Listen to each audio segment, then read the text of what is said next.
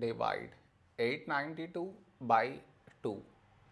To do this division, we should frame it in this way. 892 here, 2 here. This is your step 1. Next. Here we have 8, here 2. When do we get 8?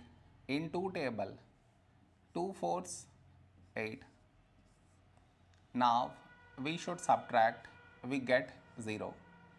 After this, bring down the beside number. So 9 down, so 9. A number close to 9 in 2 table is 2 fourths 8. Now we subtract, we get 1.